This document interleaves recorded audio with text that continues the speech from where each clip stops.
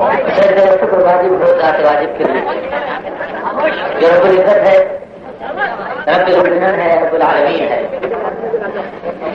جس نے اپنے بندوں اور فلاح و فلاح کے لیے اور یہ انبیاء اور فلاح مقبول فرمایا۔ اور مقبول فرمایا جو ارشاد فرمایا فی ما یاتی انکم منی ہدن کمن تبعا ہدایا فلا خوف علیہم ولا هم يحزنون۔ ارشاد ربانی ہوا آدم حوا سے کہ ہم تمہیں زمین پر بھیج رہے ہیں، لیکن ایک بات یاد رکھنا، کہ اپنی ہدایتوں کو وہی کو بھیجتے رہے۔ اگر تم نے ہماری ہدایتوں ہماری وہی پہ عمل کیا، تو پھر تمہیں کوئی حزن ملال نہ ہوگا کہ تم جنت سے نکالے گئے اور زمین پر رہے۔ اور نہیں اس بات کا خوف ہوگا کہ زمین سے لوٹ کر جاؤ گے تو اپنے مقصد اصلی جنت میں پہنچو گے کہ نہیں۔ ضرور السلام ذات اکثر پر۔ جو نبی کریم رعوف رحیم۔ سید الانبیاء سید البشر سید القونین جمیل الشیم ہے شفیع الامم ہے صاحب الجود والکرم صلی اللہ علیہ وسلم۔ ضرور اس پر کہ جس کا تذکرہ عین عبادت ہے۔ ضرور اس پر کہ جس کی زندگی رحمت کی رحمت ہے۔ پوچھا فلسطین کی سرزمین پر بیت المقدس سے قریب۔ کہ وہ امیر المومنین کہاں ہے۔ یہ آواز تھی سفری نوس کی۔ بیت المقدس کے سب سے بڑے پادری حضرت ابو عبیدہ ابن جراح امین الامت کھڑے۔ حضرت خالد ابن ولید کھڑے۔ حضرت عمر ابن عاص کھڑے۔ حضرت یزید ابن ابو سفیان کھڑے۔ حضرت معاویہ ابن ابو سفیان کھڑے ہیں۔ اور سفری نوس ان میں سے ایک ایک سے پوچھتا ہے کہ آپ کے امیر المومنین کہاں ہیں؟ ابھی آئے ہیں۔ یہ امیر المومنین جن کا انتظار ہے۔ جاویہ کے سفر پہ نکلے۔ ایک ان کی سواری میں۔ پانی کا ایک مشکیدہ ساتھ ہے ستو کی ایک پہلی ساتھ ہے۔ اور ایک ملازم غلام امراجی جی۔ ہے یہ عمر خطاب کے بیٹے تھے، ابو حق تھے۔ حضور صلی اللہ علیہ وسلم جس زمانے میں دار ارقم میں تھے۔ ایک دن دار ارقم سے نکلتے ہیں۔ سفا کی پہاڑی پہ پہنچتے سفا کی پہاڑی جو جناب رسالت پناہ صلی اللہ علیہ وسلم کو بے حد محبوب سفا کی پہاڑی کے جہاں سے حضور رسالت پناہ صلی اللہ علیہ وسلم نے اعلان سلمت الحق کا پہلا بار دیا سفا کی پہاڑی کے جہاں کھڑے رہ کر حضرت حاجرہ نے ڈھونڈا تھا کہ کوئی انسان نظر آ جائے۔ کہ اپنے بلکتے بچے کے لیے دو قطرے پانی کے مان سکے سفا و مروا جن کے لیے قرآن میں اللہ تعالیٰ نے ارشاد فرمایا کہ یہ ہماری نشانیاں یہ سفا کی پہاڑی پہ جناب رسالت پناہ صلی اللہ علیہ وسلم پہنچے۔ اور بار بار خدا بندی میں ہاتھ، دونوں ہاتھ بلند کر کے دعا مار بکیلت نبی سے کیا چیز چھپی ہوئی تھی؟ بے شک۔ کوئی چیز چھپی ہوئی نہیں۔ حضور رسالت پاک صلی اللہ علیہ وسلم صفا کی پہاڑی پہ کھڑے ہوئے ہیں، سامنے کابت اللہ حرم کعبہ، اللہ تعالیٰ کا گھر۔ تاریخ کے اوراق الٹتے ہیں تو معلوم ہوتا ہے کہ اسی کابت اللہ کی دیواروں کو بلند کرتے جاتے تھے اور ایک جلیل القدر نبی بارگاہ خداوتی میں دعا کرتے جاتے یہ جلیل القدر نبی ابو الانبیاء حضرت ابراہیم ہے ساتھ ان کے بیٹے اسماعیل نبی ہیں۔ یہ دونوں پیمبر کابت اللہ کی دیواریں اونچی کرتے جا رہے ہیں اور بارگاہ خداوندی میں دعا مانگتے ہیں کہ ابنا وبسیم رسول منہم یتلو علیہم آیات کا ویعلمہم الکتاب والحکمت ویزکیہم انکا انت العزیز الحکیم۔ کہ عزیز و حکیم ہماری ذریت سے ایک ایسے حاجی برحق کو پیدا کر، ایک ایسے پیمبر کو پیدا کر۔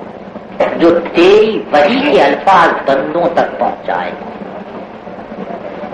وہی جو معیار عقل ہے وہی جو معیار ہوش ہے وہی جو معیار وجدان ہے وہی نہیں تو عقل کا کوئی اعتبار نہیں۔ عقل عیار ہے سو ایک بنا لے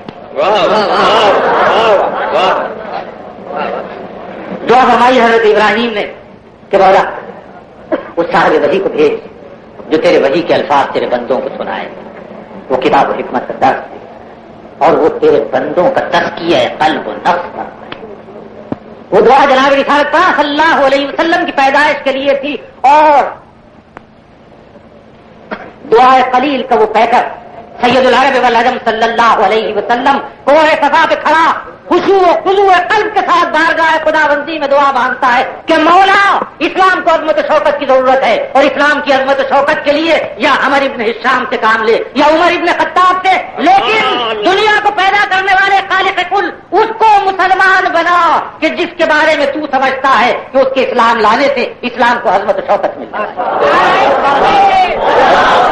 اور دنیا نے یہ منظر دیکھا اور دنیا نے یہ منظر دیکھا کہ حضور رسالت پرا صلی اللہ علیہ وسلم کی اس دعا کے تین دن کے اندر اندر سورہ حافہ کی آیتیں سن کر، سورہ تاہا کی آیتیں سن کر۔ ابو حاف جناب رسالت پرا صلی اللہ علیہ وسلم کی خدمت اقدس میں دار ارقب میں حاضر ہو رہے ہیں اور ایمان لا رہے ہیں۔ مرخین نے لکھا، حجت الوداع کا موقع تھا حضور رسالت پرا صلی اللہ علیہ وسلم کے ساتھ ایک لاکھ پندرہ ہزار صاحب کرام نے لکھا کہ حضرت الوداع کا موقع تھا اور جناب رسالت پر صلی اللہ علیہ وسلم کے ساتھ ایک لاکھ پینتالیس ہزار صاحب کرام۔ یقین کے ساتھ کچھ نہیں کہا جا سکتا کہ اس وقت مسلمانوں کی آبادی کیا تھی لیکن صرف وہ لوگ جو مناسب کے حج ادا کرنے کے لیے آئے تھے ان کی تعداد ایک لاکھ چودہ ہزار اور ایک لاکھ پینتالیس ہزار بتائی جاتی۔ ان میں سے کسی کے لیے بدر الجا صدر الولا نور الخدا سیف البرا صلی اللہ علیہ وسلم نے دعا نہیں مانگی۔ دعا نہیں مانگی۔ اگر کسی کے لیے اللہ کے رسول نے دعا مانگی ہے تو وہ خطاب کے بیٹے عمر کے لیے دعا یہ انہیں عمر کا انتظار تھا سفری موس کو۔ کیا بات کہی؟ تین مرتبہ حضرت عمر فاروق فلسطین کی سرزمین پہ گئے۔ یہ جگہ جہاں یہ لوگ کھڑے تھے جاگیا کہلاتی۔ تھی حضرت ابو بکر صدیق نے مسلمانوں کے بارہ فوجی دستے اسلامی سرحدات کی حفاظت کے لیے روانہ کیے۔ جنہیں حضرت عمر فاروق نے اپنے دور خلافت میں تقویت پہنچائی۔ اور اب وہ دن دیکھنے میں آیا تھا کہ فلسطین پہ لا الہ الا اللہ کا پرچم لہرا رہا بیت المقدس کے سب سے بڑے پادری نے مسلمانوں کے سپاہ سالار کے سامنے ایک شرط پیش کی کہ بیت المقدس کی چابی میں اسی وقت حوالے کروں گا اور سلح نامے پہ اسی وقت دستخط کروں گا جب آپ کے خلیفہ امیر المومنی سیدنا حضرت عمر ابن خطاب یہاں تشریف لاتے اور جو پوچھیے تو خود حضرت عمر ابن خطاب نبیوں کی سرزمین پہ جانے کے لیے تڑپ رہے تھے وہ سرزمین جس کے بارے میں قرآن فرماتا ہے۔ سبحان الذي اسرا بعبده ليلا من المسجد الحرام الى المسجد الاقصى یہی تو سرور کشور رسالت صلی اللہ علیہ وسلم نے انبیاء کرام کی امامت فرمائی۔ یہی عیسا پیدا ہوئے، یہی موسا پیدا ہوئے۔ ایک چٹان، غیر آباد کی چٹان ہے۔ جس کے اوپر حضرت ہاتھ عبادت کیا کرتے ہیں۔ حضرت ابو نے جناب رسالت پناہ صلی اللہ علیہ وسلم سے پوچھا، یا رسول اللہ، دنیا کی سب سے پرانی مسجد کون سی ہے؟ ارشاد فرمایا کہ مسجد حرام کابت اللہ کی مسجد۔ پوچھا کہ یا رسول اللہ، اس کے بعد کون سی مسجد؟ ارشاد فرمایا کہ مسجد اقصا پوچھا کہ یا رسول اللہ، ان دونوں مسجدوں کی تعمیر میں کیا تکلیف؟ ارشاد فرمایا، جناب رسالت پناہ صلی اللہ علیہ وسلم نے تیس یا چالیس برس کا فرق حضور نے جب یہ ارشاد فرمایا، تو حضرت ابراہیم کی تعمیر کعبہ کے بعد، مسجد اقسا کے بننے میں جو فصل ہے، اس کا احساس حضرت ابراہیم کے دو صاحبزاد اسماعیل، جنہیں حضرت ابراہیم نے وادی غیر جی ذرا میں بتایا جو جناب رسالت پناہ صلی اللہ علیہ وسلم کے جد افضل دوسرے صاحبزادے حضرت اسحاق ہیں، جنہیں حضرت ابراہیم نے بیت المقدس میں چھوڑا ہے۔ جب یہاں ابو الانبیاء اس وادی غیر جی ذرا میں مسجد حرام کو تعمیر کر لیتے ہیں، تو حضرت اسحاق جو خود بھی نبی تھے ایک چٹان کو صاف کرتے ہیں اور اس پر پتھر رکھتے ہیں۔ بالکل اسی طریقے سے، جیسے حضرت آدم نے کابت اللہ کی تعمیر سے پہلے اس کی حسار بندی کی اور وہاں عبادت کرتے ہیں۔ وہی جگہ ہے جہاں مسجد اقسا وہی جگہ ہے جہاں جناب رسالت صلی اللہ علیہ وسلم نے تمام انبیاء کو نماز پھر حضرت ابو ذر غفاری نے پوچھا کہ یا رسول اللہ، اس کے بعد تو ارشاد فرمایا کہ میری مسجد اور اشارہ تھا، جناب رسالت صلی اللہ علیہ وسلم کا مسجد نبوی کی طرف۔ حضور رسالت محمد صلی اللہ علیہ وسلم کا ارشاد ہے کہ دنیا میں صرف یہ تین ہی مسجدیں ہیں کہ جن میں نماز پڑھنے کے ارادے سے آدمی دنیا کے کسی خطے سے سفر کر کے جا سکتا۔ ان تین مسجدوں کے علاوہ کسی اور جگہ کسی کا مزار ہو یا اس سے ملحق کوئی مسجد ہو، تو وہاں نماز پڑھنے کے لیے سفر کر کے جانے کا حکم دے۔ اب وہ ایران میں ہو توران میں ہو مشہد میں ہو کسی اور جگہ ہو کہیں جانے کا حکم نہیں کہیں جانے کا حکم نہیں ہاں اگر اتفاق سے وہاں پہنچ گئے ہو اور موقع نکل آتا ہے تو بے شک اللہ کی نماز کے لیے ساری زمین کو پاک کر دیا گیا ہے جہاں چاہو نماز پڑھ سکتے ہو لیکن یہ تین مسجدیں ایسی ہیں کہ جن میں نماز پڑھنے کے لیے بطور خاص سفر کر کے جانے کا اور ہر جگہ دو دو رکعت نماز کی فضیلتیں بتائی گئی ہیں۔ کہیں ایک ہزار رکعت کے برابر، کہیں دو ہزار رکعت کے برابر، کہیں بیس ہزار رکعت کے برابر۔ حضور باپ صلی اللہ علیہ وسلم کے قریب ہے دعا کہ جن کے ایمان لانے کے لیے سید الانبیاء نے دعا مانگی تھی، وہ جامعہ پہنچنے والے سفری روس اور اس کے ساتھی، جنہوں نے کیسے اور کس شان و شوکت کو دیکھا تھا ایک ایسے آدمی کی شان و شوقت کا نظارہ کرنا چاہتے تھے کہ جس کے قدموں میں پیسوں کس طرح سے تخت و تاج آ گرے جب عوج دارائی وہ تھا۔ جب شان کسروی وہ تھی۔ جب شان پیسری وہ تھی تو وہ شخص جس نے پیسر و کتنا کو دیر کیا اس کی شان اس کا تجمل اس کی شوقت اس کی عظمت کا کیا کہ نہ جانے کتنی بڑی فوج اس کے ساتھ ہو نہ جانے کتنے نقارچی ہوں گے۔ نہ جانے کتنے مورچل بردار ہوں گے۔ شامیانے لے کے آئیں گے سراچے سرا پردے۔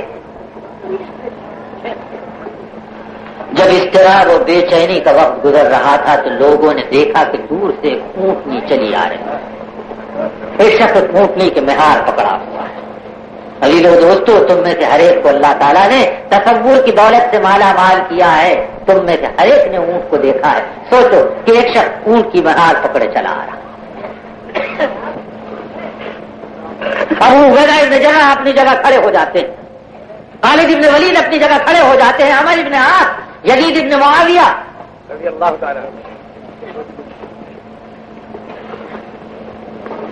یزید ابن ابو سفیان، معاویہ ابن ابو سفیان۔ جتنے لوگ ہیں وہاں صحابہ اکرام۔ رضوان اللہ اجمعین، سب کے سب کھڑے ہو جاتے ہیں۔ نگاہیں پیشوائی کے لیے اٹھتی۔ تو فیروز حیرت سے لوگوں کی طرف دیکھتا ہے کہ ایک اونٹنی آ رہی ہے